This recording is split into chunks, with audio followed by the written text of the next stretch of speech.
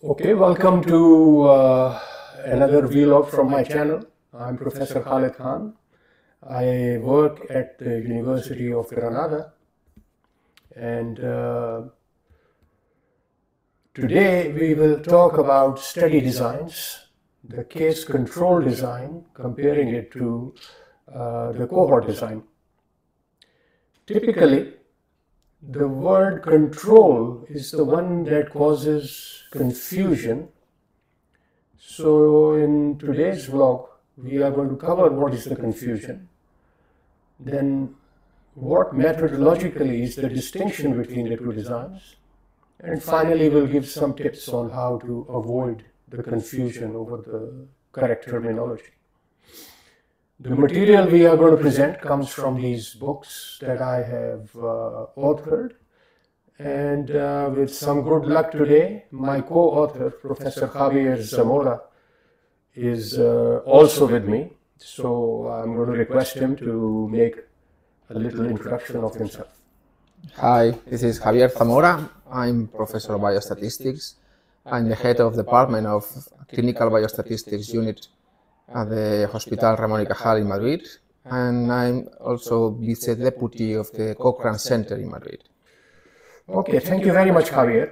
Uh, we now move on to look at what is hierarchy of evidence. So, evidence-based medicine likes randomized trials a lot. Uh, after randomized trials, it has controlled observational studies, cohort studies, and case control studies are the two designs that fall within this category. And then there are uncontrolled uh, and laboratory studies, which fall much lower down in the ranking. And when we look at the levels of evidence as, as presented by the Center for Evidence-Based Medicine at uh, Oxford University. Cohort study has a level called 2B, and case control study is 3B. When writing papers, authors are expected to provide the design in the title and abstract. The idea is that immediately the reader should know as to what is the level of evidence of the publication. So the consort checklist requires that randomized trial is mentioned in the title and systematic reviews require that meta-analysis, if used, is mentioned in the title and abstract. And for observational studies, uh, the study design, either cohort or case control, should also be mentioned in the title and abstract.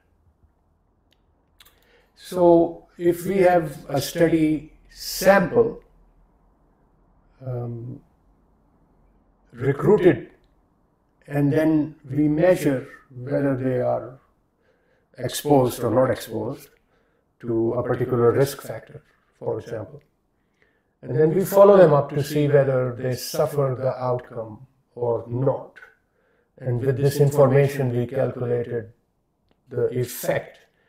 Then this is, in simple terms, follow up of a cohort of people in time from measurement of their exposure towards a time when they will be expected to experience an outcome or avoid it.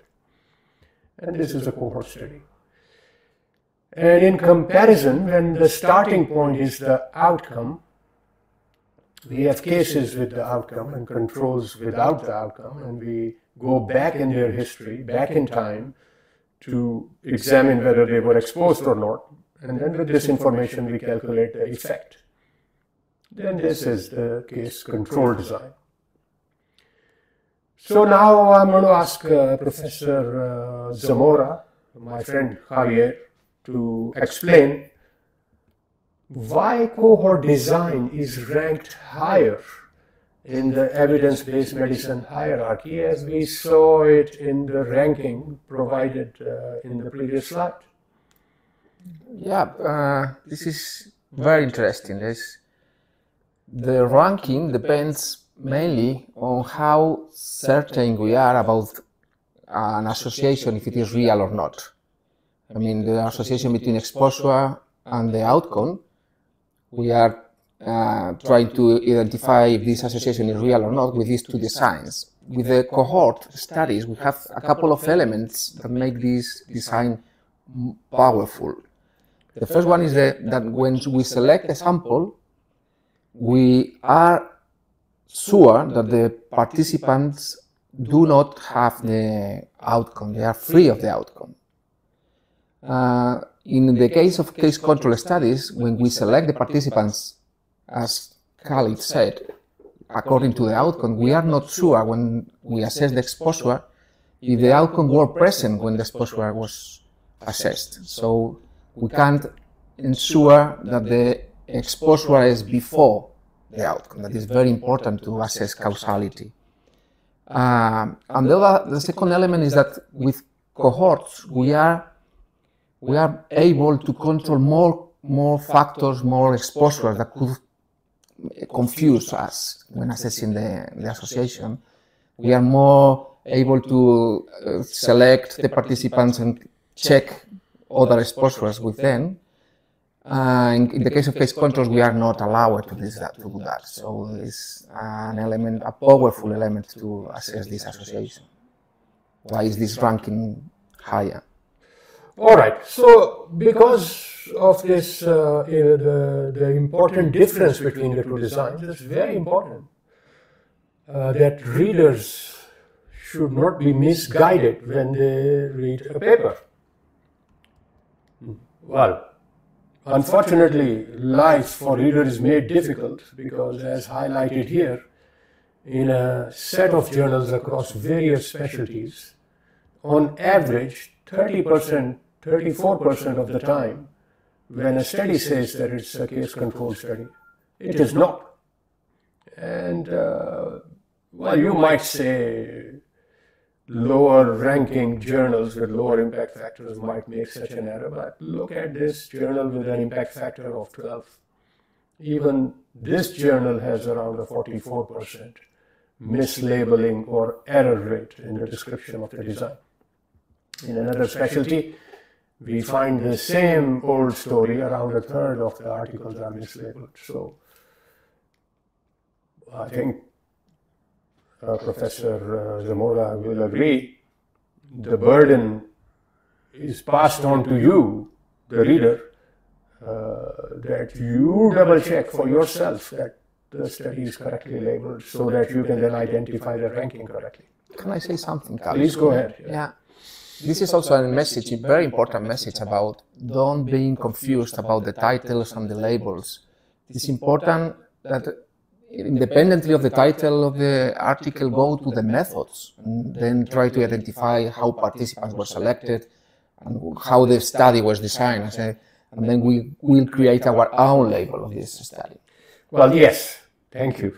The, with this in mind, and we're going to bring this uh, video to an end uh, with our summary about how to avoid the case control confusion.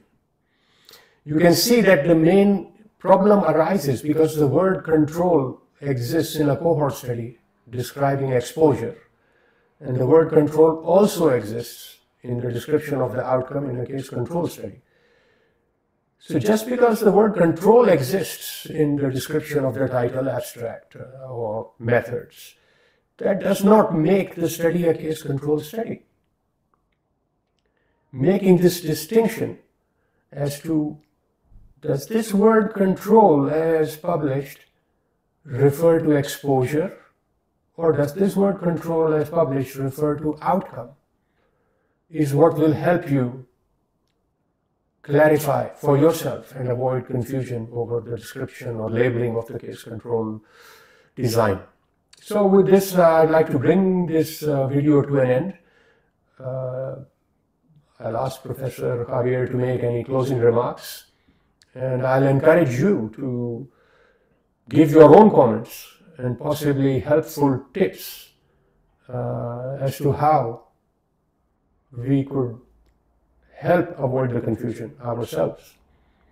And uh, we'll bring more on this issue in the upcoming videos. Maybe we would have in the future opportunity to avoid another confusion that is with the temporality of the study. and then we will distinguish between other concepts that could be confusing also. Yeah, prospective or retrospective or the longitudinal nature of the study. This is also often very confusingly worded in the literature, so we'll cover that next time. So with this, we would like to say thank you for listening, and uh, we'll welcome you uh, to make comments, and we'll see you in the upcoming video soon. Thank you.